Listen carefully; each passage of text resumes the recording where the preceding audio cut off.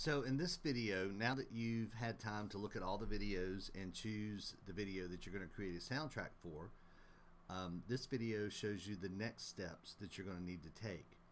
So first of all, you are going to want to open GarageBand and open a new project. So once you have GarageBand open, um, everyone's familiar with the loop window. So if you click on loops, um, you have your list of loops and if you double click on a loop. Um, you can listen to it.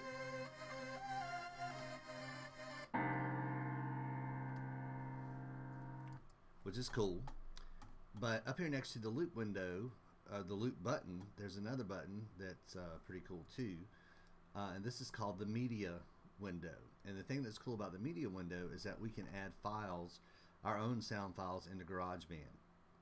So uh, you're going to need to click on the media button and this window will open. You'll see right now that I have a folder in here. Uh, you're not going to have that because, but you are in just a minute. So once you have this window open, all you need to do is uh, position your GarageBand window so that you can see your desktop and you can see this folder SFX Master that we downloaded. All you have to do is click on SFX Master, drag it into the media window and drop it.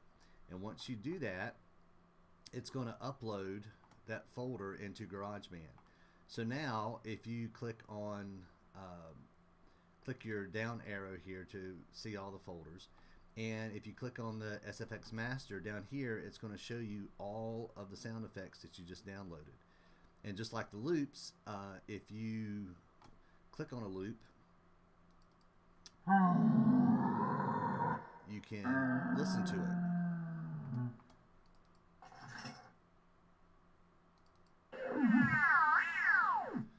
pretty cool.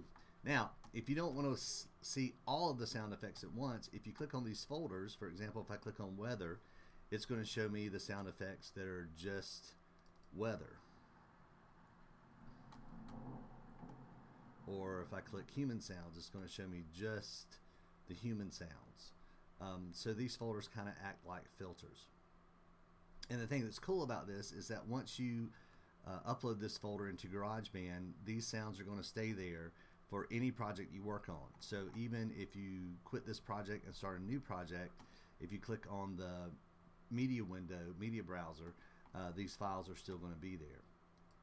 Now the other thing I wanted to mention to you is that when you're thinking about maybe background music for your video, a good place to find background music is if you click on your loops and in your loops choose jingles and jingles are pretty useful because they are actually combinations of instruments that have been looped together. So if you click a drum loop, it's just the drums, or if you click guitar, it's just a guitar. But jingles are kind of music that's already been put together.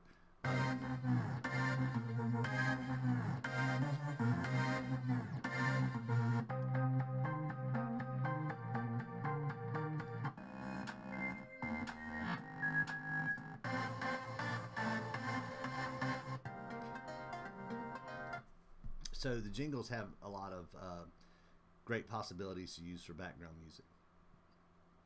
So now you've got your sound effects in, you've got your jingles. So the next thing to do is to actually add your video file. And again, with GarageBand, this is super easy. So if you go to your desktop and open up the folder uh, that has the video masters in it, all you have to do is click on the video that you want to use drag it into your GarageBand workspace and drop it. And once you do that, you'll see up here at the top of your GarageBand workspace that this movie track appears. And so here's the movie. You can grab the corner of it and resize it, make it smaller, make it bigger. A lot of times you're going to want it smaller so you can see your workspace. And if you move your playhead it's going to move to that point in the video. Or if you press your space bar, it'll play the video just like you're playing music.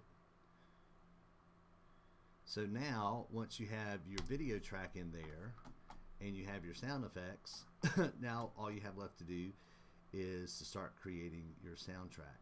And there's going to be another video uh, in Google Classroom that will show you how to do that. So, um, oh yeah, let me show you one more thing. So let's say you're working and you got your video window open, but you want to get it out of the way.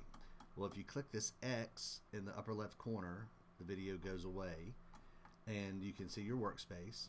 And to get the video back, you may have noticed when I clicked it, it this little box appeared. So if I come up here and click on that box, then my video window shows up. So that's how you move your video window out of the way and that's how you get it back to where you want it. So anyway, that's what you need to do to get your sound effects into GarageBand and then get your video into GarageBand and you are now ready to start creating your soundtrack.